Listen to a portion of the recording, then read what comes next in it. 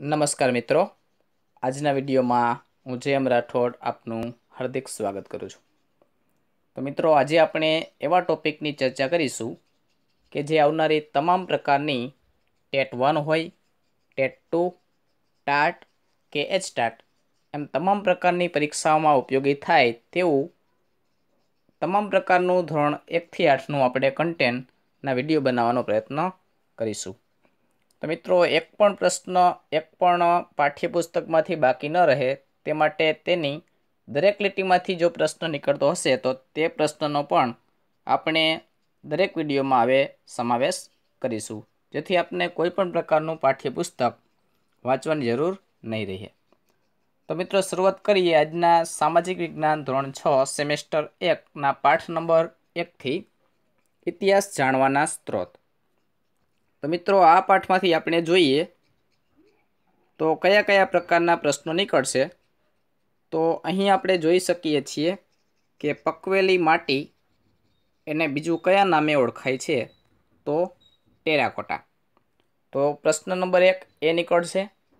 ત્યારબાદ જોઈએ બીજો કોઈ પ્રશ્નમાંથી નીકળે તો એક આ પણ પ્રશ્ન નીકળી શકે કે જ્યારે વીસમી સદીના પૂર્ણી થઈ ત્યારે ડિસેમ્બર બે હજારમાં તમામ વર્તમાનપત્રોમાં વીસમી સદીમાં બનેલા બનાવોની વિગતે ચિત્રાત્મક રીતે રજૂઆત કરવામાં આવતી હતી. જેનું નામ આપવામાં આવેલું મિલેનિયમ ગેલેરી. તો મિત્રો, આ પ્રશ્ન પણ ખૂબ જ અગત્યનો છે. તે ક્યારે રજૂ કરવામાં આવતી હતી તે પણ ખાસ નોંધવું રહ્યું. ત્યારબાદ જો મિત્રો આપણે જોઈએ તાડપત્રો અને ભોજપત્રો વિશે, તો તેમાં મોટે ભાગે કઈ લિપિમાં લખાણ કરવામાં આવતું હતું? જો એવો કોઈ પ્રશ્ન પૂછે તો આપણે જોઈ શકીએ છીએ કે તેમાં મોટે ભાગે પાંડુ લિપિમાં લખાણ કરવામાં આવતું હતું અને જે ભોજપત્રો છે, એટલે તે હિમાલયમાં આવેલા ભુજ નામના વૃક્ષની છાલનો ઉપયોગ કરીને બનાવવામાં આવતા પત્રો છે. તો એ પણ ખાસ યાદ રાખવા જેવી વસ્તુ છે કે ભોજપત્રો કયા વૃક્ષની છાલમાંથી બનાવવામાં આવે છે અને તે વૃક્ષ કઈ જગ્યાએ મળે છે. ત્યારબાદ જોઈએ મિત્રો આગળના કોઈ આમાંથી પ્રશ્ન નીકળતા હોય, તો અભિલેખ અને શિલાલેખ વિશે આપેલું છે. તો એક વસ્તુ આ યાદ રાખવાની છે કે અભિલેખો જ્યાં સાચવવામાં આવે, તેને અભિલેખાગાર કહેવામાં આવે છે. અભિલેખાગારને બીજું તમને કહીએ તો આર્કાઇવ્સ બરાબર? તે પણ કહેવામાં આવે છે. અને આ પ્રશ્ન પણ મિત્રો ખાસ યાદ રાખજો કે હાલમાં રાષ્ટ્રીય અભિલેખાગાર ક્યાં આવેલો છે? તો જવાબ આવશે મિત્રો, દિલ્હી. ત્યારબાદ જોઈએ આગળ, જો આપણને આમાંથી પ્રશ્નો મળશે, તો તમામ પ્રશ્નોની આપણે ચર્ચા કરીશું. પછી આટલું જાણો, તે મિત્રો ખાસ યાદ રાખવા જેવું છે કે ઇતિહાસ જાણવાના સ્ત્રોત. તો એ તો આપણે જાણીએ જ છીએ કે ચિત્રો, દસ્તાવેજ ને ઘરેણાં રમકડા, આ બધું તો આવે જ. પરંતુ શિલાલેખ વિશે જો તમને પૂછે, તો પથ્થરથી પથ્થરમાં કોતરીને લખાયેલો લેખ છે. ભોજપત્ર તો એક વિશેષ પ્રકારના વૃક્ષની છાલ, એટલે કે ભુર્જ નામના વૃક્ષની છાલમાંથી બનાવવામાં આવતો લેખ છે, કે જે હિમાલયમાં મળે છે. ત્યારબાદ જોઈએ તામ્રપત્ર, તો તે તાંબાના પત્રા ઉપર કોતરીને લખાવવામાં આવતું લખાણ છે. ત્યારબાદ જો એક પ્રશ્ન જોઈએ, અગત્યનો, તો ઘણી વખત ટેટ ટુમાં આ પ્રશ્ન કદાચ પૂછાઈ પણ ગયો છે, કે કઈ પદ્ધતિ દ્વારા પુરાતત્વવિદો તેના અવશેષોનો ચોક્કસ સમયગાળો જાણી શકે છે. તો મિત્રો જવાબ આવશે કાર્બન ડેટિંગ પદ્ધતિ. તો એ પણ ખાસ ઉપયોગી થશે.